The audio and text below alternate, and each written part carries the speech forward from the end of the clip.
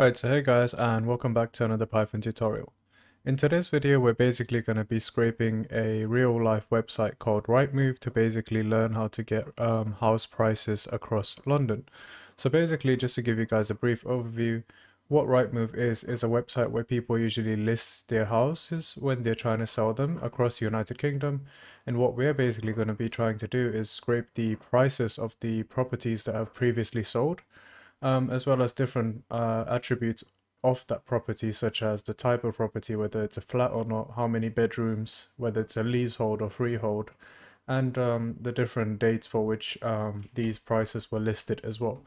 You can use this sort of data for a lot of useful stuff, such as analyzing it, plotting it across a map, etc, etc. But for this tutorial, we're just going to be learning how to scrape this data across London. Cool. So first things first, what you want to do is sort of get a rough idea for the website you're scraping, which in this case, this is very simple. It's just a HTML page which has all the data that we need. And you see that we also have pages at the bottom. So it's page 1 out of 40. So we know there's 40 pages worth of data to scrape. Now if I click on 2, what you notice is that um, the thing that changes is the page equals 2 up here. So we can probably write some sort of loop that's able to increment this number by 1 all the way until we reach 40 so that we grab all of the data needed. Cool. So to start with, what we're going to be doing first is basically taking a look at this data when we scrape it. So I'm going to go into VS Code. And for this tutorial, you're going to be needing requests, which is um, should be part of your standard libraries within Python. You're going to be needing JSON, which also should be part of your standard libraries. We're going to be using Beautiful Soup, which you're going to have to install uh, by using pip. Beautiful Soup. Uh, and then we're also going to be using pandas to basically format the data once we have downloaded it. Cool. So let me run this. And if you guys have run it so far without any errors, that means you are doing just fine. Cool. So first things first, what we want to do is actually grab the data from the page that we were looking at. So we want to grab it in its raw form. So I'm going to switch this to page one, and then I'm going to copy the direct URL for this data. And to get this data, we're going to use the requests library. So we're going to make a uh, get requests to this URL, and we're basically going to um, store this response in a variable called res, which stands for response. Now if we do res, we can see that the website returned the response 200. This means everything went okay, there was no problems. Now we can look at the contents of that response by typing in uh, res.text. Now if you look at the content, uh, you'll see that you have house prices in London and then just a long list of things, right? So what this is is just a string. You've got a quote at the start and a quote at the end. It's basically a string that will contain all of the content that was shown on the website in its raw form. Now, in order to be able to navigate through this, it's usually nicer to pass this data into a beautiful soup object. So we'll create a new variable called soup, and then we'll pass this string that we've just gathered in the form of HTML into beautiful soup. So we'll do beautiful soup equals beautiful soup res, and then we'll just run that. Now, um, oh, forgot to do res.text because res will only return response 200, which is not going to work. We need the content of that. So we run that, we should see that it's run fine. And now if we print out soup, uh, it will basically print out like a prettified version of the web page. But what we're going to be able to do is we're going to be able to navigate the different elements within this um, this soup object now. So for example, if we wanted to grab a link or if we wanted to grab an image, we're going to be able to do that without having to split on the text like before. So if we scroll through the site, let's try and see where this data that we're looking for actually is. So don't see it so far. Maybe we'll just do control F and like a pound sign, right? Because the pound sign surely has the prices. So if we do pound sign, okay, seems like we're getting to something around here. And what you can see is that you have a script tag, which is starting, and then you have all of the data stored in this uh, dictionary called results. Now what we'll want to do is grab this dictionary called results because if you can see you've got the result count, so how many uh, properties were sold, if I'm not wrong, then the properties and more detail. So you've got the address, the bedrooms, property type, images, uh, floor plan, and the transactions. So we obviously want want to have all of that data. And bear in mind, this is just the data for page one. So within this thing, we know that our data lies within the script tag. So that we're going to look for the script tag for now. So we'll do soup dot find all script. And what find all does is it will return a list of elements that um, are belong to this element type. So we're looking for script and it's basically returned a list of items that has script.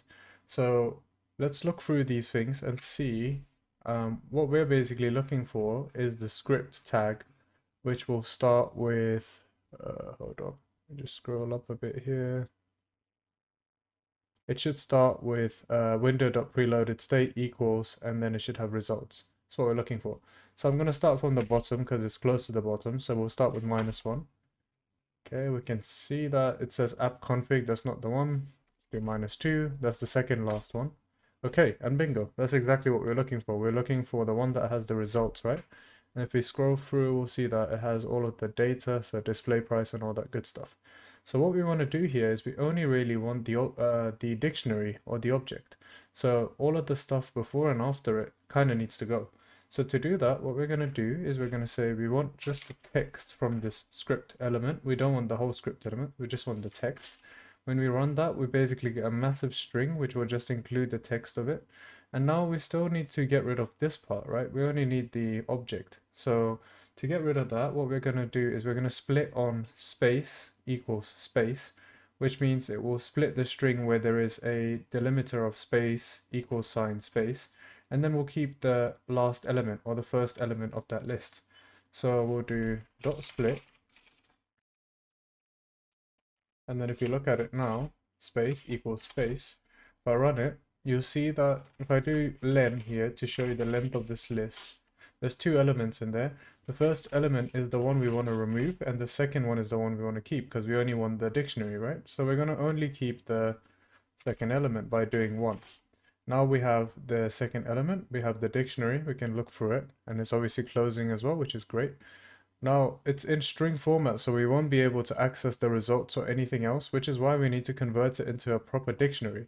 So to do that, we need to load this uh, JSON uh, in. So we'll do json.loads and then run it like that. Now you can see instantly the quotes have disappeared and it looks like an actual uh, an actual dictionary now that we can navigate through. We can confirm this by doing square brackets results because results is one of the keys and if you run it we should see the results pop up and it and they do. Cool. So first off what I'm going to do is give this a variable name. I'm going to call this page data. Okay, that should all get stored in there for now. And then what I'm going to do next is let's look at page data quickly. So what do we want? We obviously need the results. So let's go into results. Then we obviously need the basic details of the properties. So it looks like all the property details are stored inside this list in the properties key. So let's do results and properties. And what we have here uh, is basically all of the properties, their address, uh, their transactions, as well as their basic details. So let's just look at property number one what we can, let me open this in a new tab. What we can see here is the basic details first, so the address, property type, bedrooms, images, and all that stuff. And then we have another list, which is the transactions. So basically, these are all the prices and the dates, a tenure, and build type um, for which the property was listed on the site, right? So we're going to store these details as well, just so that we have in-depth sort of information with us. We're also going to be storing location because that can be quite useful.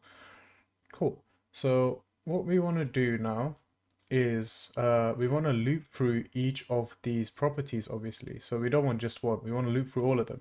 So we're going to store this these the, this list of properties in a new variable and we call that page properties.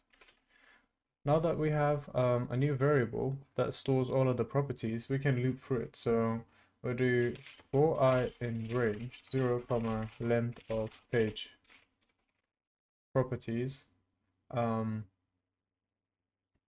what we're going to do is we're going to select the current property by doing property equals page properties i and this will basically be each of the individual properties that we're accessing so each element of this list Then within that, we're going to store the address of the property by doing property.get address. And then if there is no key called address, we're going to automatically use the value NA because otherwise we're going to, our program is going to crash and it's going to say, oh, I couldn't find a key for address.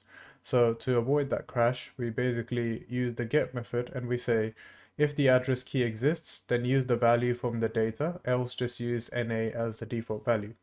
So just to show you what's going to be happening here, I'll do print address. And if I run it, as you can see, it's printing the address for all of the properties that we had above. Now let's grab the other details as well. Um, let's do property type equals property dot get. Same thing again, property type and then NA as the default value. And the reason why I know the keys is because I've already got, I've explored this before. Um, if you want to find them yourself, it's quite easy as well. You can just look at the keys right here. So we've got address, property type, bedrooms, then we're going to need transactions, and then the location as well. That's how I'm grabbing them. So we've got property type for now as well, which is great. And then the last one I think is going to be, second last is going to be bedroom. So property.get, uh, bedrooms and then NA as the default. Uh, and then lastly, uh, location, which is going to be property.get location, uh, and then as the default value, we do NA.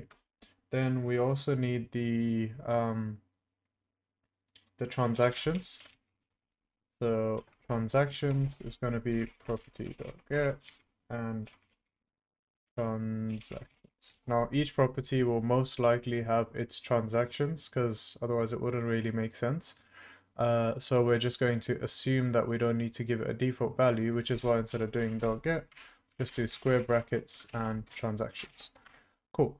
So we have basically all the basic data that we need. I think the only problem we're going to face right now is that location is going to result into another dictionary with a lat and a long. Now we'll do two more variables so that we store this data a bit more neat. So we'll do locations lat equals location. And then since it's a dictionary itself, we'll do dot get and we'll do lat. And then the default value will be NA. Same thing for longitude as well. Location long and location dot get and then LNG. Uh, and then NA as the default value. Now if we do print location lat and location long, we'll get like neater values and we can store these as um, individual columns into the data frame later, which should be a lot easier to analyze this data later on in the tutorial if we ever need to. Cool. So let's look at the transactions now. Currently, if you look at the transactions, um, just look at this in a new cell. We'll just look at the transactions, the last property that we're looking at. It's not very neat to look at, right? So we obviously need each of these things to be in a column of their own. And for each transaction that there is, uh, the basic details of the property will duplicate, like the address will duplicate itself over those rows, the property type, etc., etc. Only things that will change is the is these four things. So we'll do just that. So for basically, since this is a, a list, we're going to have to iterate through this list of transactions and then store that data. So first off, what I'm going to do is create a new variable called full data here. And that's just going to be an empty list. This is where we're going to be storing all of the data we're scraping.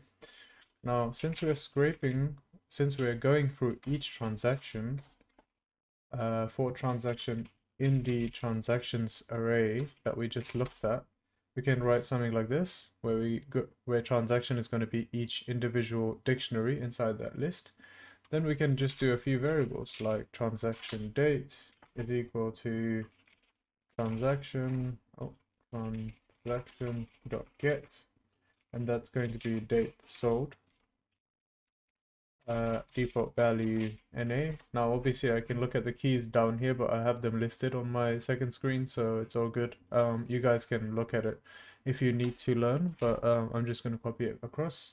So transaction price equals transaction dot get display price default value NA transaction tenure is equal to transaction get uh, tenure and NA.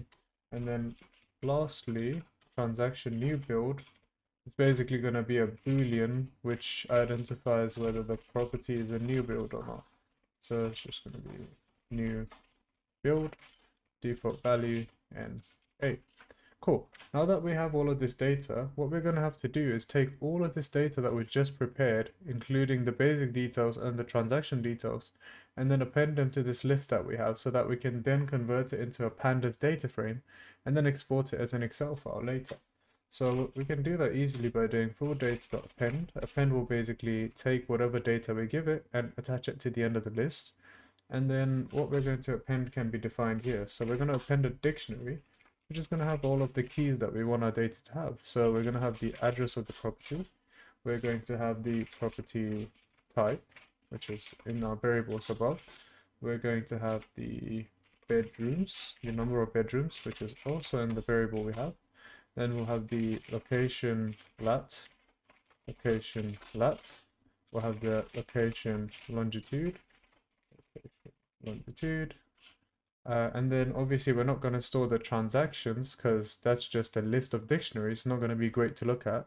Instead, we're going to store these details that we're um, looping through individually. So we're going to do transaction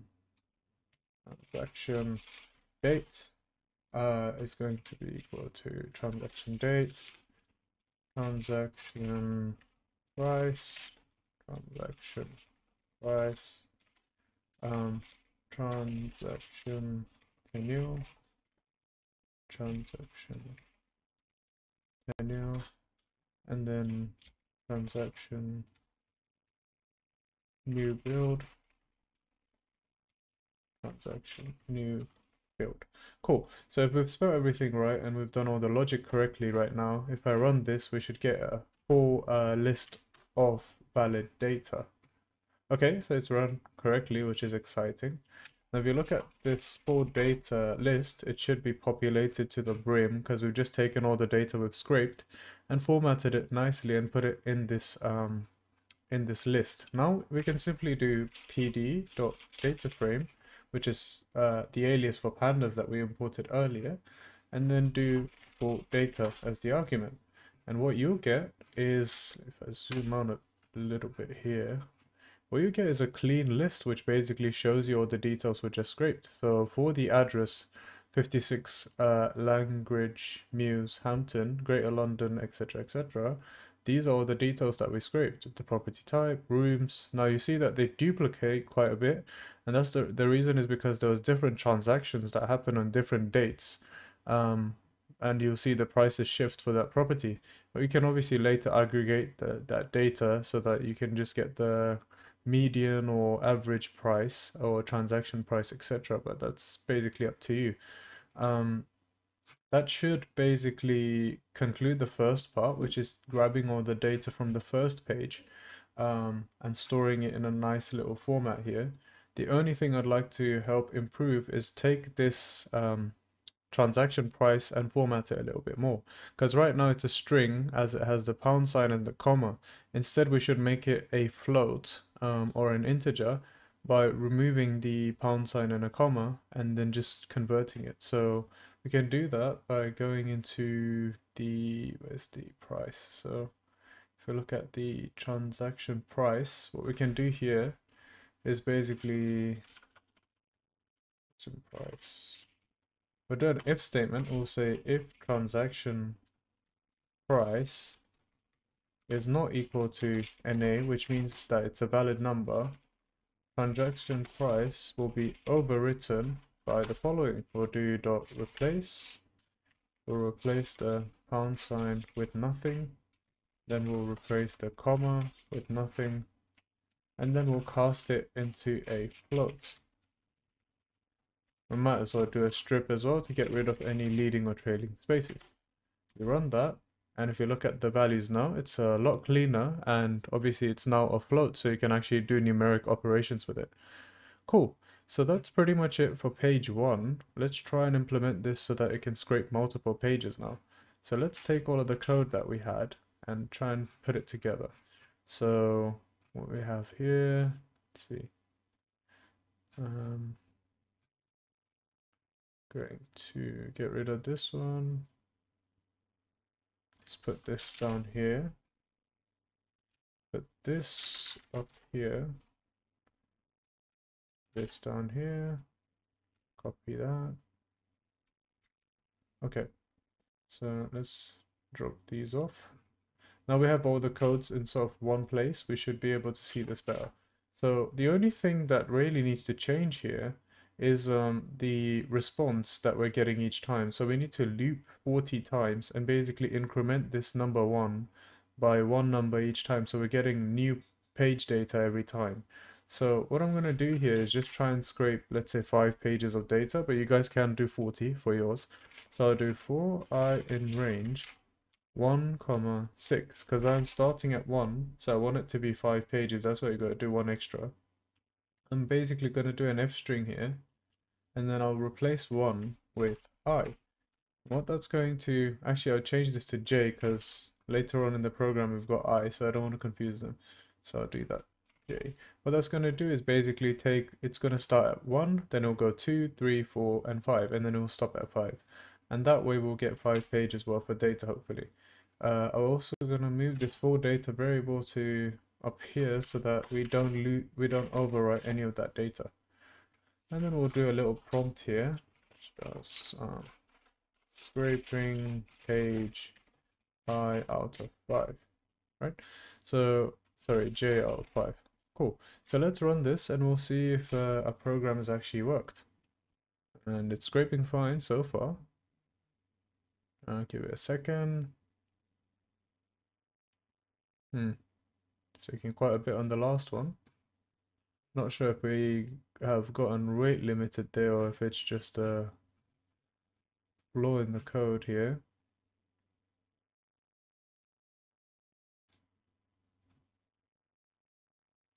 Scraping page 4 or 5.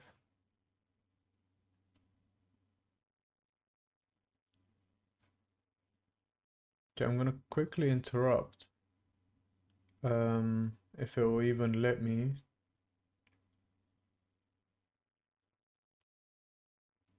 Or I can try restarting the kernel actually and re-running the code. Let's try it with, let's say, three pages, three pages this time just to prevent maybe running into a rate limit. Okay, so this one worked just fine. I think the reason why it was kind of slowing down is because Rightmove realized we're passing quite a few requests to it quite quickly.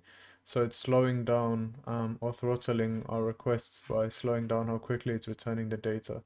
So if we look at now, do pd dot data frame, not data frame, for data, we have 246 rows. Uh, let's go to, how many pages did we do again? did three pages. Okay, so let's do page three. Uh, taking a second. This is what I was talking about. I think it's realized that we're making quite a few requests for my IP, so it's kind of throttled me um, in terms of usage. But in any case, you can confirm that this is correct by going into page 3, or just um, clicking on this down here, going to page 3 uh, it's updated and then going down to the last property on this list and then checking if that matches the end of your data frame. So it should be 10 Serene Park Gardens, Greenwich, London. 110 Serene Park. Yep, this seems correct. And there should just be two listings. And there is just two listings. That's perfect. Cool. So that's exactly how you would scrape um, Rightmove data in terms of uh, grabbing previous listing data or property data in general. Uh, if you guys have any ideas or any other tutorials you want me to do link to this in terms of any data science or data analysis tasks, please let me know in the comments.